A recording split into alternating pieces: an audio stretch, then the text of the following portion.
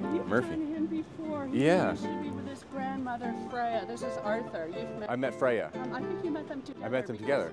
So this is Arthur. Arthur. I remember him. Yes. I never forget a face. Arthur the Great. How old is he?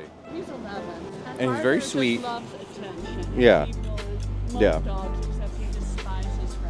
Huh. What's the Christian face? It's hard for them to read their body language if you're a dog because it's like, what's your expression? Well, now I can't move because Arthur is sat on my foot, which is good, but I'm also stuck here for the rest of the day until Arthur decides otherwise. Come on. Shall we go home? I'm sure he remembers you. He has a memory. Really? If I keep my foot there, then maybe. Yeah, there we go. Now, now we're talking. You're just gonna have to have my foot in it because I can't move the foot. It's locked in. Oh, there are the ears.